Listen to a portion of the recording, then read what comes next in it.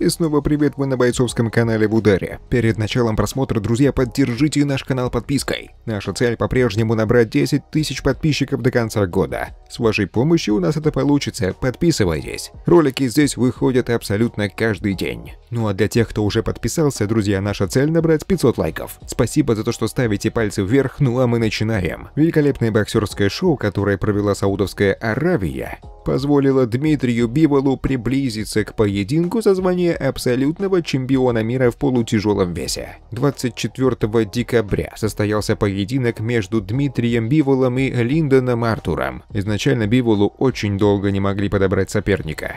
Как говорил тренер Бивола Геннадий Машьянов, большинство соперников из десятки попросту отказывались выходить на ринг с Биволом. Принял приглашение только Линдон Артур, чемпион по версии IBO. И вот что говорил о нем Бивол до боя. Не сказать, что он легенда, но я настраиваю себя на то, что это сильнейший боксер в мире. В поединке Линдон Артур удивить не сумел. Работал все 12 раундов только вторым номером.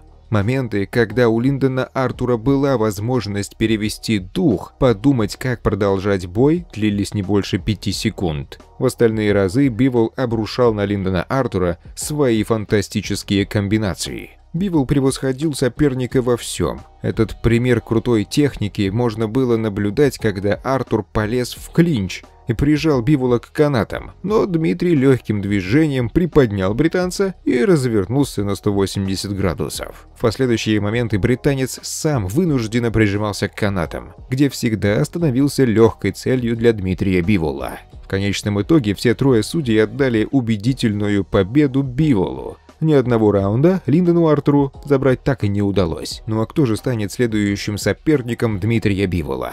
Менеджер Дмитрия сообщил, что их сторона все документы подписала. Новой информации до середины января не будет. Генеральный директор RCC Boxing Герман Титов высказался о возможности проведения титульного боя за звание Абсолюта между Дмитрием Биволом и Артуром Бетербиевым. Сейчас ждем поединок Бетербиева в январе против Смита. Думаю, что Артур одержит победу. И надеюсь, что в середине года состоится объединительный бой за титул абсолютного чемпиона мира, сказал Титов.